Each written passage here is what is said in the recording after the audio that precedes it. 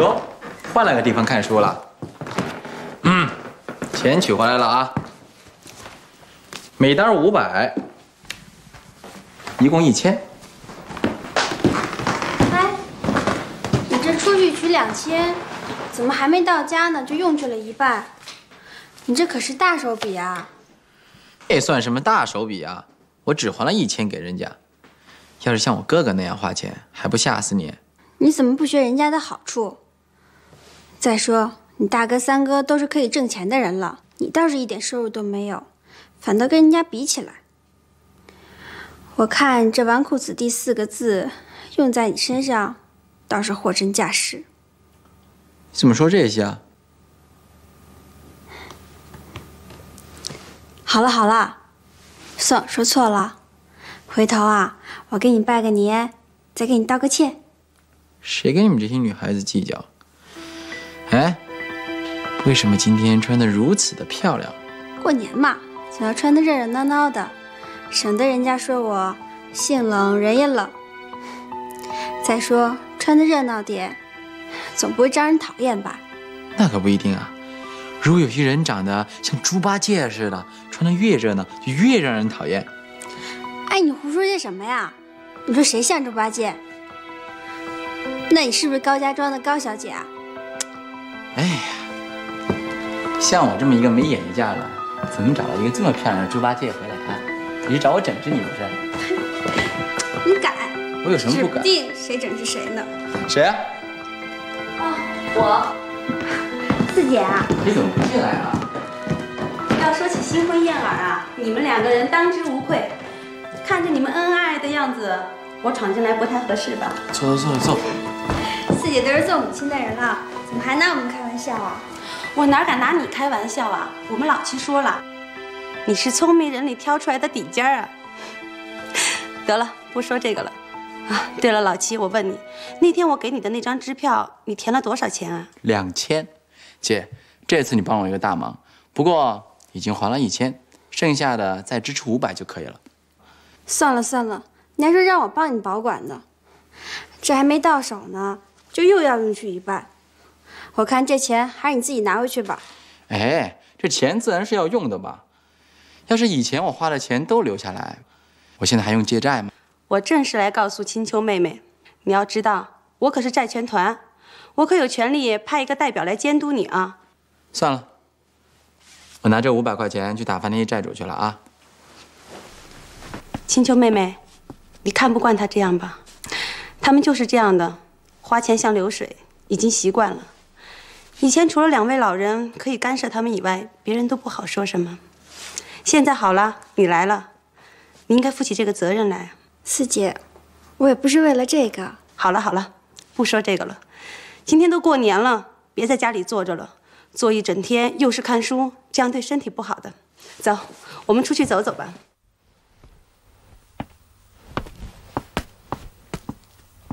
我们这样文明的新家庭，对过年还是这样的铺张啊！嗨，这都是母亲的意思，反正是一年一次的事嘛，我们大家也可以同乐一下子。他老人家本来就喜欢热闹，反正这样也无伤于文明。你觉得这样就很铺张了？走，我带你到大厅去看看，那儿才热闹呢。青秋妹妹，你瞧瞧，我们祖上。可都是些轰轰烈烈的人啊！曾祖父就不用说了，我爷爷那辈儿排行三个兄弟，有文有武，每个都是做到二品以上的官位。唉，只可惜啊，他们人丁不旺，长二房就只留下了一个姑母。我听燕西总是提起这位大伯母，说她是如何如何疼她。只可惜他们一家都住在上海，往来不太方便。他还让我和他一起探望这老人家呢。那可不是，我们家这位姑母啊，可是慈善的很。她每次见到我们都特别的喜欢，可能是因为我们家人丁太少的缘故吧。这还能说少啊？一共都八个人了，难道你还想要二三十人不成？对对对，是我说的不对，应该说亲人太少的缘故。我们家爷爷啊，排行老三，他是很有远见的。他说：“官场上懂洋务的人太少，所以要求我们家父亲出国留学。父亲他老人家在欧洲待了几年才回来，他本来中文的底子就很深，加上出国以后学了一些新知识，回来正是国家要用的人才。这也算对得起上辈吧。可是到了我们这一辈，那可就太糟了。这怎么能是糟呢？只是好的都在女子这一方面罢了。我们祖上像这样有业绩的人，应该都要传过四代去了。书上不是说吗？君子之泽，五世而载吗？既然这样，你就应该和我们家老七多生几个小国民，到时候我们家……哎，我的金秋妹妹还没过年呢，怎么就给我拜上了？都是你，害得我差点就摔跤了。你可别对别人说啊，怪难为情的。我的傻妹妹，我对你哪还有一点不尽心不尽力？你难为情就是我难为情，我哪里还有向别人说的道理？行了，别说了，咱们还是找母亲去吧。走吧。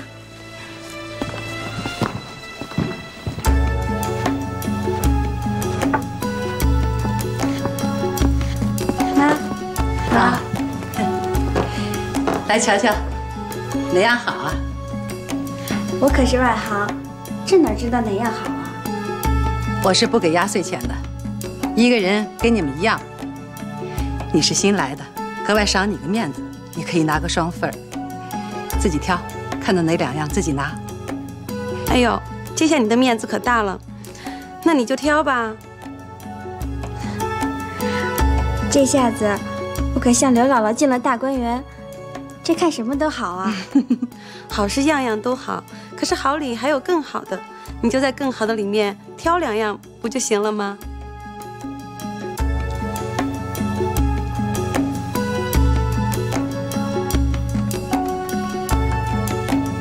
哼，还说不会挑呢，你这两样是最好的了。妈，那我要谢谢您了。我也不能年年给，看我的高兴罢了。妈，其实过年。您不应该赏这些东西，保存起来以后可以留给小孩子们。你不明白，我是另有一番用意的。我的意思啊，先赐给小孩子的母亲，再由他们赐给小孩子，这样就是传代的物件了。如果等到将来我直接给孩子，那中间不是隔了一代了吗？原来是绕了这么大一弯子，妈，你怎么还拿我开玩笑啊？我哪是跟你开玩笑呀？你呀是上了你四姐的当了。妈，您就别怪她了。等辞岁的时候，让她多给你鞠两个躬。趁她现在腰软，可以多弯弯腰。等改天像大嫂一样腰直了，那就不肯弯了。我就不明白了，姑娘定了婆婆家要害臊，那还情有可原。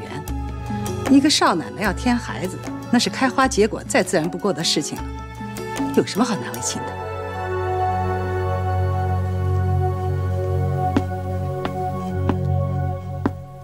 爸你把这些玩意儿翻出来干什么？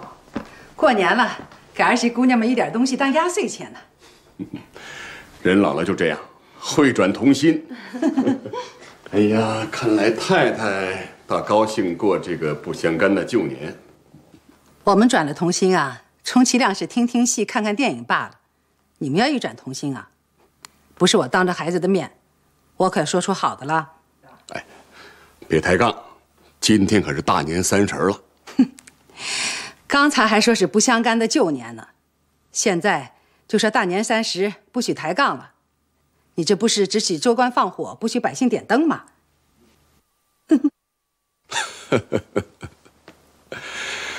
哎呀，这个做事的人呐，总想闲一闲，其实真的闲下来，倒觉得不合适似的。每年到了阳历、阴历这两个长期的假期中。我反倒觉得闷得慌，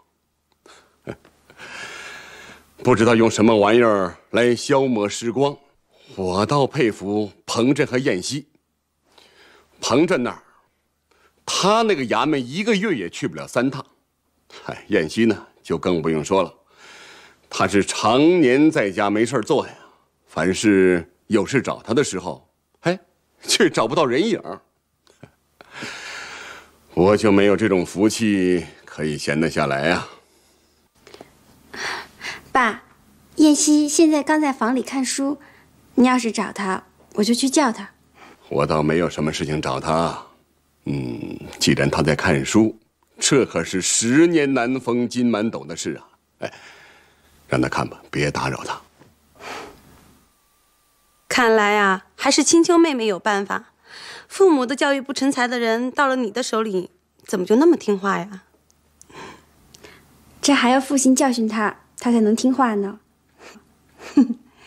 我们家老七长了张好嘴，这媳妇的嘴也跟抹了蜜似的，啊。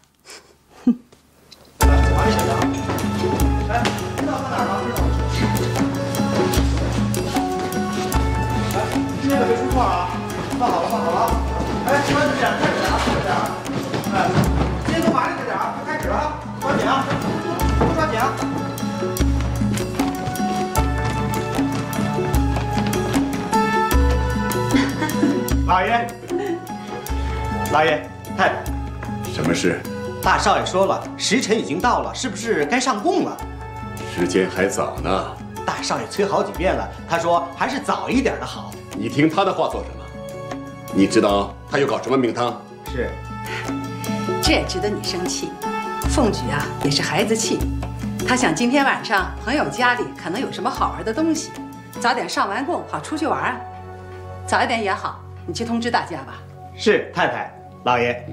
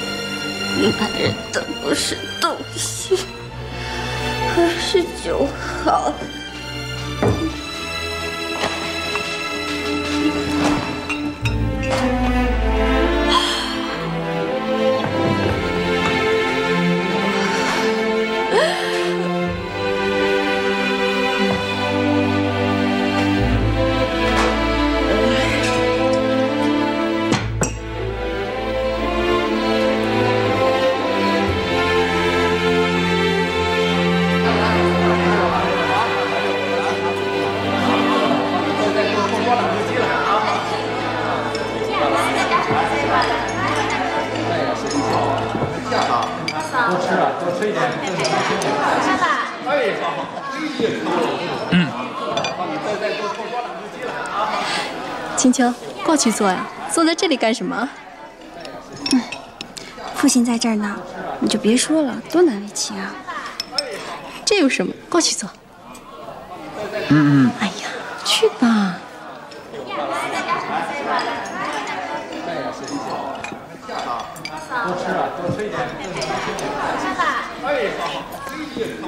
小舅妈，你怎么害羞了？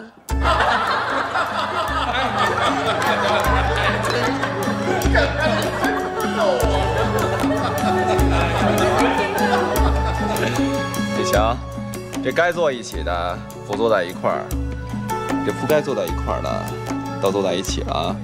你说什么？啊，我开玩笑的啊。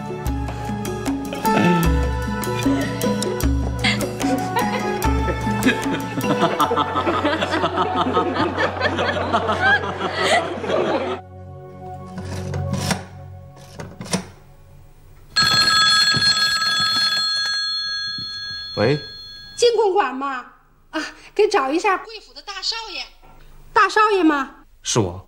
少奶奶醉得挺厉害。什么？您是不是过来看看？好，好，好，马上就去。哦，好。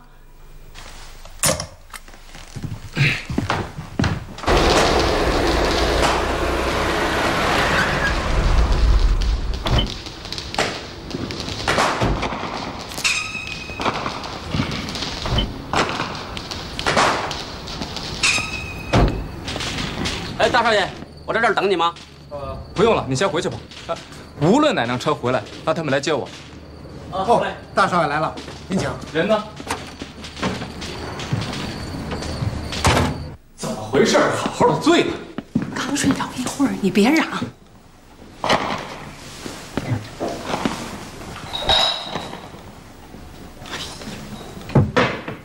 这是怎么回事啊？一个人喝酒醉成这个样子。都是为了你不来吧？这少奶奶她年轻，这到了年边上，大家伙都热热闹闹的，她自个儿待在家里也就嫌冷清了。家里有的是酒，她喝着酒解解闷儿，可也没成想，她就这么样醉了。我呀，还真没留意。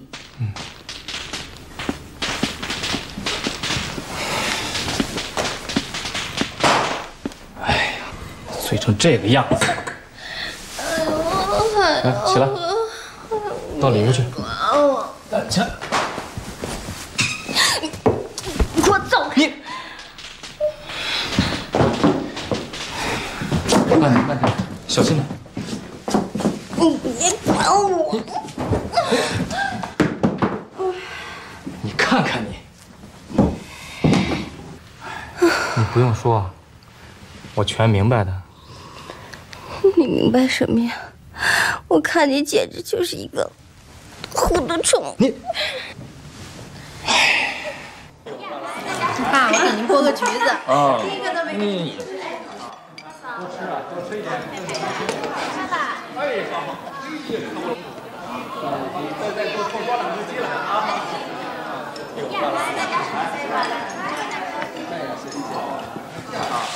多吃啊，多吃一点。不要了，不要了，好好。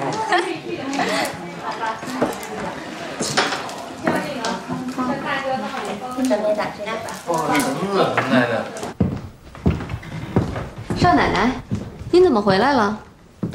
这里清静，我在这里看屋，你出去玩玩吧。少奶奶，我也不喜欢热闹，年年都如此，也就不觉得新鲜了。来，喝杯茶吧。小莲，嗯，最近柳少爷没有和你联系过吗？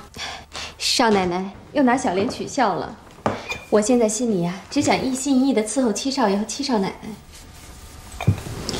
过年嘛，人人都想的团团圆圆的。难道你真的不想柳少爷吗？不想，也就不想了。这是什么话呀？自己喜欢的人，当然要想念啊。尤其是过年的时候。少奶奶，我从小就是个孤儿。后来，大少奶奶把我带进金府，所以一直以来我就是一个人。不想，也就不想了。所以，你就更应该有个人可以想念啊。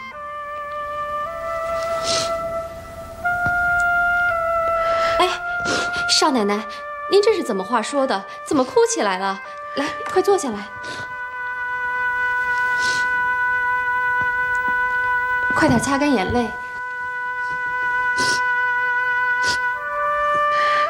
少奶奶，你赶快把眼泪擦干吧。这大过年的，要是让人家看见了，该笑话了。少奶奶，您别这么想。不，我只是想到了我的母亲，她也是一个人在家里过年，真是孤苦了一些。哎，对了，初三你不就可以回门拜年了吗？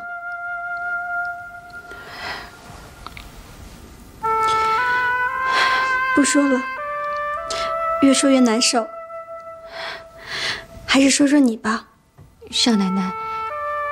我的事儿还是不提的好。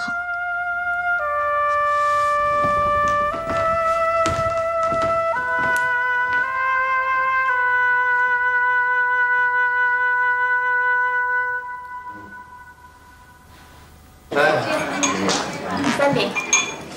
三嫂，你觉得不该打这张？这张吧。嗯。南风，你去看看七少奶奶。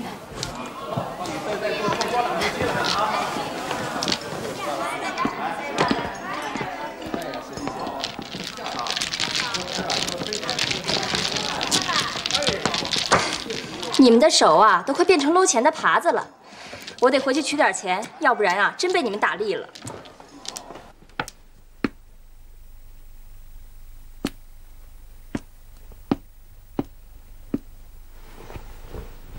我正到处找你呢，走，到母亲房里打牌去。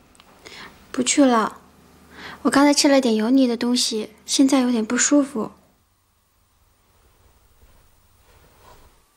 不会吧，小东西，让我看看，想家了是不是啊？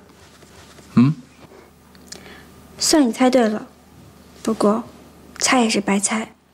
我可以想个法子让你回家看你妈去，你怎么谢我呀？快说吧，少废话。这还不容易啊！现在街上不到十点，正热闹着呢。我们就说出去逛逛，偷偷的去你们家。你说这法子好吗？不行，要是让大家都知道了，这可不是闹着玩的。哎，这事儿只能你知我知，天知地知，怎么会有第三个人知道呢？这法子不错吧？说，怎么谢我？你这明明是趁人之危嘛！我的母亲也是你的岳母啊。再说，他老人家今年为什么一个人在家过年？这不都是因为你啊？哦，是夫人，燕西已经知道了。行了，进去穿大衣吧，我陪你回家去。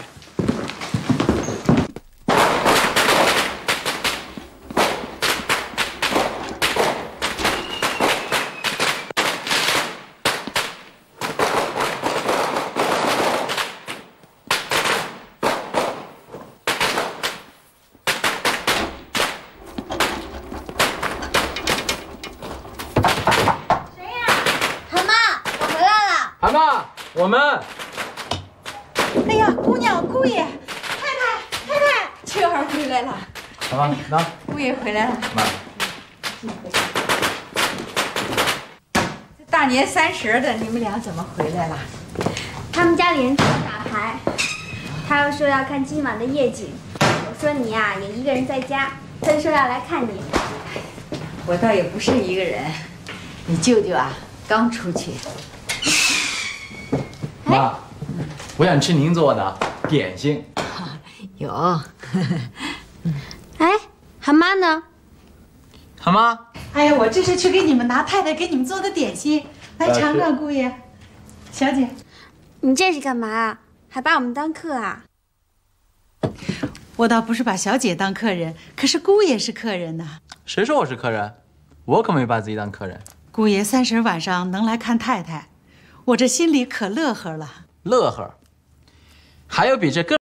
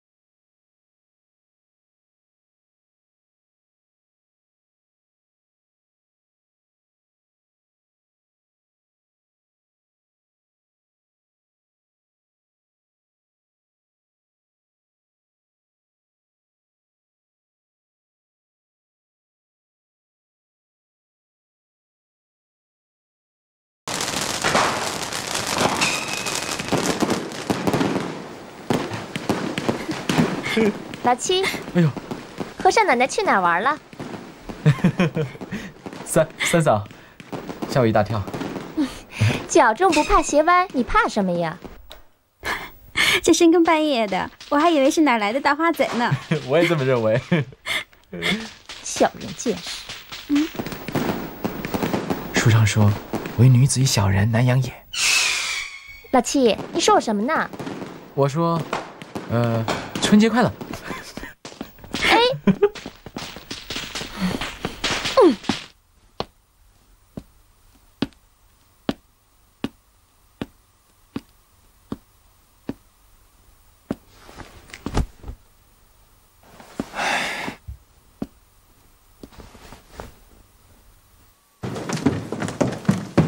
柳少爷，请。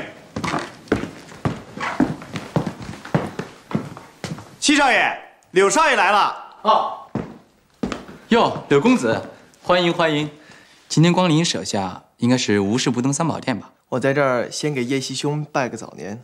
自从上一次白泉庵一别之后，我对小莲一直是念念不忘。今天正值除夕之夜，我想再见一次小莲，不知可否？我们当然没有问题啊，只是应该问一下小莲。等一下好吗？好。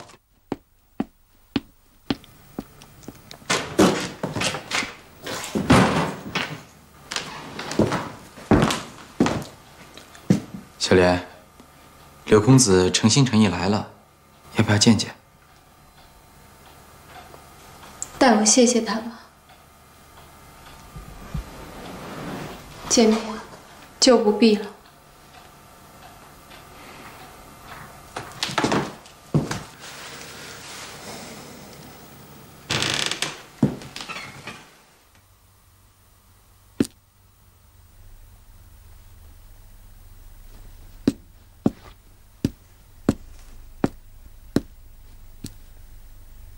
抱歉，小莲她，她不想见你。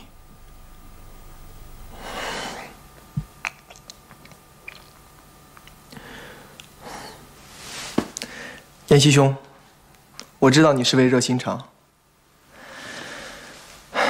我不妨跟你直说，我和小莲在一起是光明正大的。一个人不管他处在一个什么样的社会地位。都有权利自己选择他自己的前途与命运。我们两个人相互看重对方，并且以心相许。这段感情不会再有第二次了。而且，我相信小莲也是这样的。燕西兄，你跟青秋女士从相恋到结合，一定理解这是怎么回事而现如今，家父家母。反对我们之间相结合。小莲那天在白泉庵斩钉截铁地拒绝了我。我知道她是为我好，而我也因此更加爱她。相恋中的人，爱情是至高无上的，也是不可阻挡的。我想请你替我作证，我柳春江终其一生，心里只有小莲一个人，而且我的生命也只属于她一个人。麻烦你把我的意思转达给他，燕西兄，打扰了。我相信你一定会原谅我。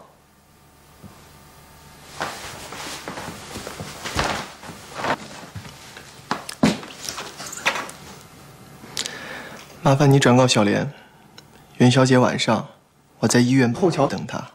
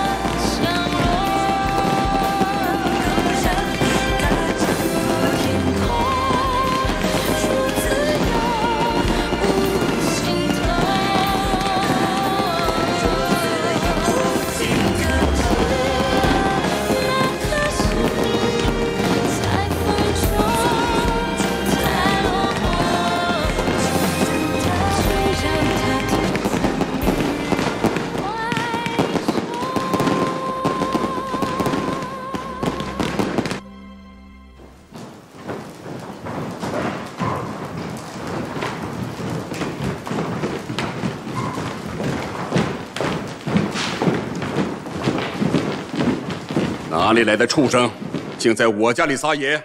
总理大人，我们真的不是来成心闹事的，真是我们家老爷让我们来抓，让我来请我们家少爷回去的。哟，你们这群混账东西可真够放肆的啊！既然要到家里来拿人，最起码应该搞清楚，这家是谁的家。回去告诉你家老爷，不想当官可以回云南，儿子可以回家去管。就当是拜年了，柳少爷可以留下，叫你们老爷来领人，都给我出去！出去，滚！滚！滚！滚！出去！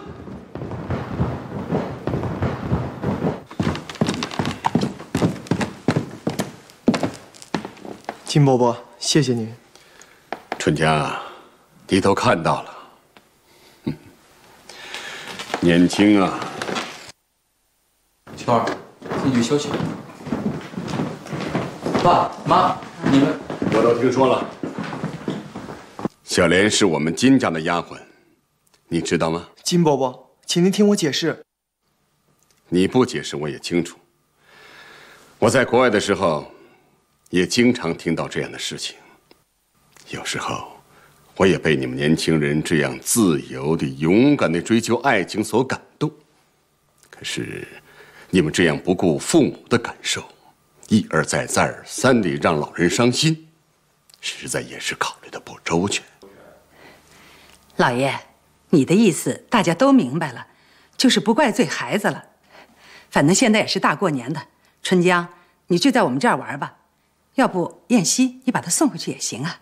伯父、伯母，我娶小莲的事儿是不能改的。我今天来就是为了这件事。你这孩子怎么听不懂我的话呢？春江，年夜饭你也不回去吃，有什么比在父母面前尽孝更重要的事情呢？有。小莲过年的时候就一个人，难道我不应该陪她吗？反正父母身边有别人陪着他们。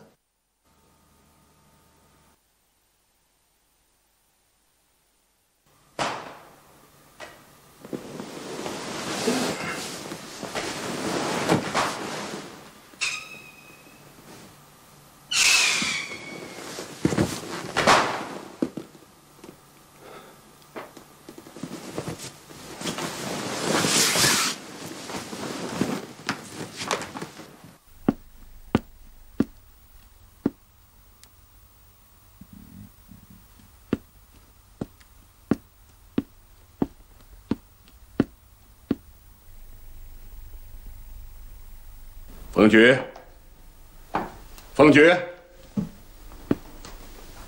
凤菊，凤菊，你怎么了？哎呀，别烦，累死了。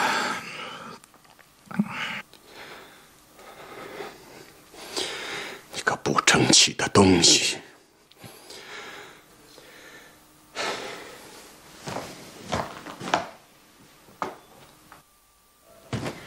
这些东西是越闹越不像样子了，我实在看不惯。他们有本事，就让他们经济独立，自己去另立门户去吧。没头没脑的，怎么就说出这些话呀？这也不能怪他们，只怪我们做上人的不会教育，养成他们这骄奢淫逸的脾气。清早起来又冲着谁在那发脾气呢？凤菊昨天晚上在楼上喝醉了酒，睡在了沙发上。我还以为什么大事儿呢，原来是凤菊喝醉酒啊，这是常有的事，怎么就捧出教育问题的大题目来了呢？就是这一点，我还能说什么？他们所闹的事，比喝醉了胜过一百倍的也有呢。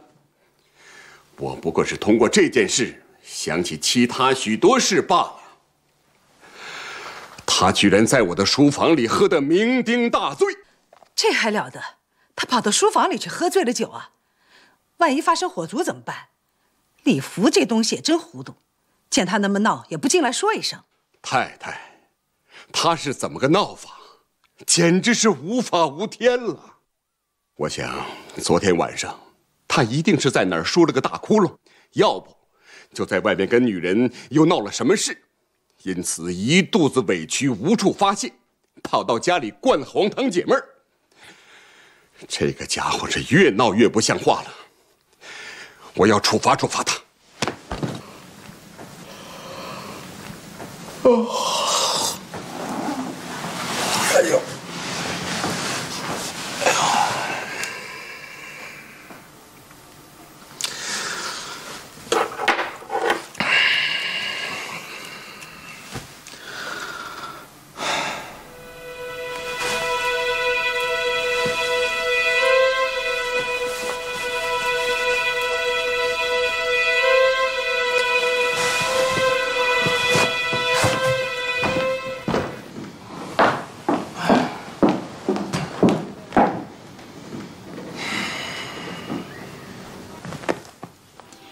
父亲找了你两回了，说是有一家银行有笔账让你去算。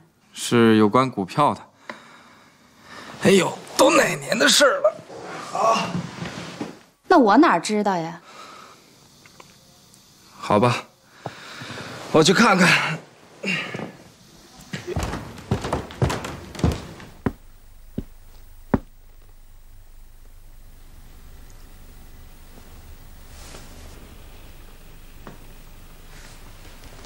回来，你坐下。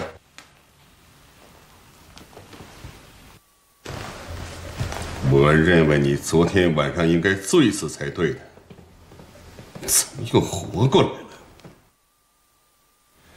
是什么事心里不痛快，这样拼命喝酒？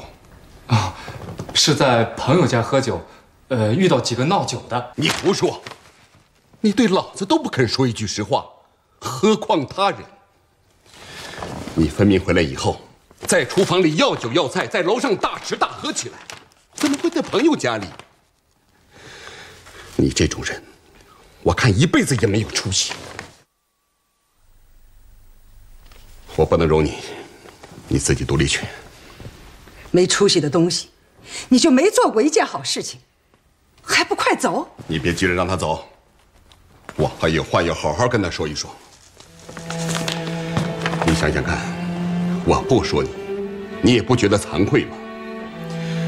你除了在衙门的薪水外，还有两处挂名差事，据我算，应该也有五六百块钱的收入吧。你不但不够用，还在家里的公账上这里抹一把，那里抹一把，可结果呢？还是一身亏空。你上不养父母，下不养妻室，你的钱哪里去了？果然，你凭着自己的本领赚来的钱，你自己花去也去罢了。你所得的事，还不是全是我这老面子换来的？假如有一天靠山倒了，我问你怎么办？你跟着我去死吗？这样年富力强的人，不过做了一个吃老子的寄生虫，有什么了不得？你倒觉得很高兴，终日饱餐秀色，花街柳巷，你是真有这种闹的本领啊！好，我今天就写几封信出去，把你的差事一起辞掉，再凭你自己的能力，重新开辟局面去。家里现在又不要我担责任，自然是闲人一个。可是我在衙门里也和别人一样的办公室，何至于那样不长进？要靠您老人家的面子混差事？好，哼，你还不服我说你无用？我倒要看看你的本领。哎呀，这事儿值得你为他这么生气吗？有事儿你只管走，我来办就行了。哎呀，我的太太，你要能办那就好了，何至于让他们猖狂到如今这种地步？很好，你不是说你很有本事吗？从今天起，我让你经济独立，你有能耐，做一番事业给我看，我很欢迎。把配方给我叫来，我当着你们夫妇的面，我宣告。哎子恒啊，让我说一两句行吗？你说吧。你这种办法，知道的认为你在教训儿子。不知道的还以为我们家怎么着呢？你说是吧？难道由着他们闹不成？惩罚惩罚他们就行了，又何必照你的意思捧出那个大题目呢？做儿子的让你父亲生气应该吗？还站在这儿干什么？还想等个水落石出啊？滚！